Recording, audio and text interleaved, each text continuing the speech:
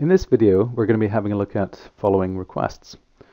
Following requests is a great way to keep updated or notified of any changes or the progress of an incident, problem, or change, particularly when uh, that uh, request is being managed by another person or maybe even another team. So we're just going to start by going to my request list, and in this list we have a particular call that I'm going to uh, go through and reassign this to another team. So I'm just going to select the second line team from the list. And from within that team, I'm now going to assign this to Brian. Now that it's assigned, I still may want to keep track of any updates or progress that Brian might have on this incident. So I'm just going to click on the follow option down in the timeline. Now having clicked this, I'll receive notifications and updates anytime something changes to this request.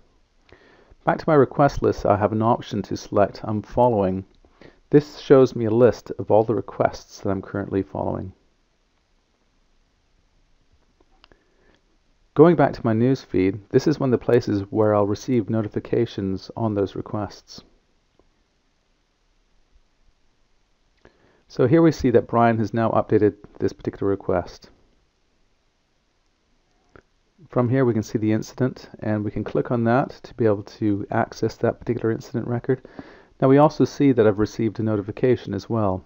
And again, by clicking on that incident, that will take me through and now I can now view that record and check for all other updates.